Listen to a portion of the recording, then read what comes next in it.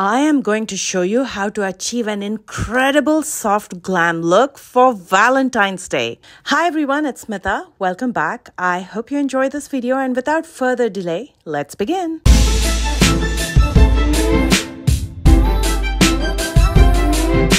I always like to start with skin prep and I'm going to be using the Charlotte Tilbury Water Cream to hydrate my skin. This is by far my favorite moisturizer. It has done wonders to my skin, but it is very pricey. If you're looking for a good drugstore dupe, either Aveeno or CeraVe are perfect. I'm going to be using the Kiehl's Eye Cream. This is the multi-corrective eye zone treatment and I'm going to moisturize under my eyes as well. This will keep the skin hydrated and the concealer will settle beautifully over this. And for my lips, I'm going to be using the Tatcha Kissu Lip Mask. I'm going to wipe it off just before I apply my lipstick. Using a peach corrector from the NYX color correcting palette, I'm going to neutralize in areas where I have dark circles, patches, and uneven skin tone. The peach corrector is your best friend when you have uneven skin tone. This is going to cancel out the blue and purple purple undertones to help color correct. You don't need too much product. All you need is to concentrate in those areas where you want to neutralize and just apply enough. After application, I like to blend out just the edges. I don't blend over the entire product and remove that product. I don't do that. I just blend out the edges to soften it so it blends in well with the other products that I'll be using. And I wait for it to completely dry before I apply anything else over it. And once it's dry, I'm going to go with a foundation. And the one that I'll be using today is the HD Skin by Makeup Forever. This is in the shade 2R24. This is a medium coverage foundation, but you can build it up to full coverage. And it's a long wearing foundation that blurs imperfections and delivers the most natural matte finish that looks like skin. In fact, this is completely weightless and it looks so natural from up close, especially when someone's sitting next to you and they look at your skin. It doesn't look cakey, it looks like skin. Now, listen, makeup is definitely not going to look like your natural skin, but the closer it gets to natural skin, the better it is. And not just for Valentine's, in general, I like that kind of makeup. And for extra coverage in areas where I have uneven skin tone, I'm going to be using concealer. This is the Milani concealer in warm beige, which is a true match to my skin tone. After applying, I like to let it sit and get a little bit tacky and dry before I blend it out to get that full coverage. And while I wait, I'm going to contour my face. And for contour, I'm going to be using the Fenty Beauty Contour Stick in Truffle. As always, I'm going to be using it in the circumference of my face, in the hollows of my cheekbones, in my jawline, as well as nose. And to apply it, I'm using an angled fluffy brush from Real Techniques.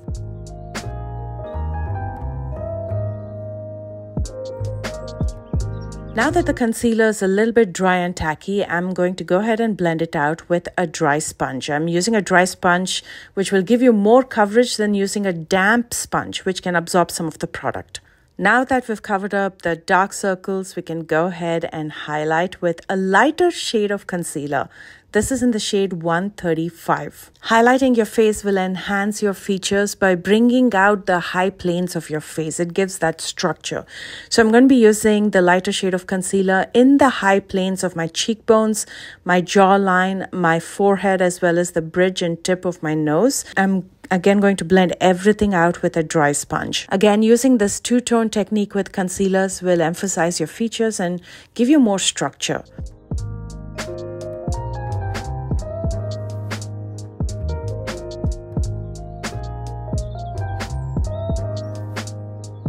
Now I'm going to lightly set my face using the One Size Translucent Loose Powder. I'm not using too much powder. I'm using just enough so the makeup can absorb the powder and set.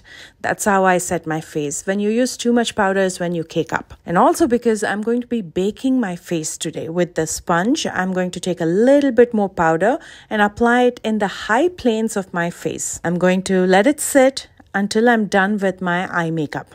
For brows, I'm going to be using the Benefit Precisely My Brow in the shade 4.5. This is a micro tip brow pencil. And as always, I'm going to use it to fill in the sparse areas in my brows while shaping it. Do you like the shape of my brows? I changed it up slightly. Is this good? Do you like it? Let me know in comments. With the rest of the concealer that's left on my concealer brush, I'm going to quickly clean up underneath my brows as well as on my lids.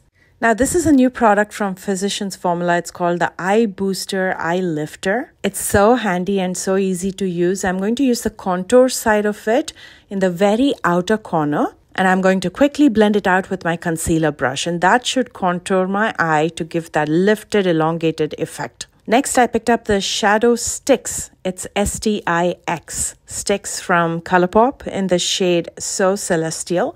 I'm going to apply it on my lid and quickly blend it out with a blending brush. And right in the center, I'm going to add a pop of highlight for which I'm going to be using the Laura Mercier Shadow Stick in the shade Wild Rose. And I'm going to quickly blend it out with my finger. Now that was so simple but looks so stunning and elegant. In my lower lash line, I'm going to first use the contour stick from Physicians Formula with a brush and smoke it out. And then I'm going to apply the shadow stix from Colourpop and So Celestial over it. And I'm going to quickly blend it out with a smudging brush. Using Inglot gel liner with a nail art brush, I'm going to pull out a small wing and line my lash line. It's going to be a super small wing as always that looks very elegant and doesn't interfere with the fold of my hooded eye. I'm also going to use it in the very outer corner of my lower lash line just to give that lift. And then I'm going to use a nude eye pencil in the very outer corner of my lower waterline. This is Boundless Bisque by Makeup Forever. And that should brighten up my eye. To finish up, I'm going to curl my lashes before I apply a coat of the Rem Flourishing Lengthening Mascara. And for lashes, I'm going to be using the Tati lashes in TL21 because they look very natural. They are wispy and you can see through them. You can see the eye makeup, which is very important for me. They look very delicate and they also wing out, giving that elongated lift in the very outer corner. It's elegant, it's classy, and it's very wearable, especially for an occasion like Valentine's Day. I'm going to dust off that excess powder that I used for baking before I use a blush. And for that hue of rosiness, I'm going to be using the Bare Minerals Gen Nude Blush in Pink Me Up. This is one of my favorite blushes.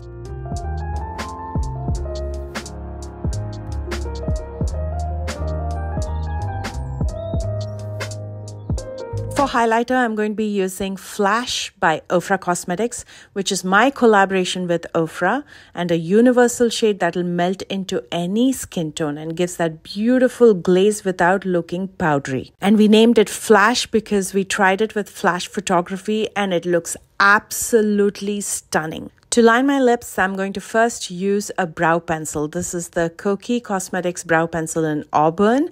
And I'm just lining the borders and lightly shading it inward. And to fill in my lips, I'm going to be using Bestie by Ofra Cosmetics. Again, a universal shade that I created with Ofra. And you'll see why in just a minute. It's the most perfect nude that goes on any skin tone. Now here's how it looks when it's matte and this is how I usually apply it. It looks very classy. Now I want to show you both options. I want to show you with gloss as well. You'll see that it gives you that extra pout. There's something about this shade that is absolutely stunning. And here's the finished look. It's soft, it's elegant, it's romantic and also reminds me of a delicate flower. I'd love to hear your thoughts on this look, so comment below and let me know. And if you plan to recreate, please don't forget to tag me. You'll find my socials listed in the description box right below this video. If you enjoyed this video, please don't forget to thumbs up. And if you're new here, please consider subscribing. Check out the description box also for all the products that I use today. You can also click on the view products link, which is embedded within this video on the left bottom corner. I love you guys so much and I will see you soon with a brand new one. Bye, guys.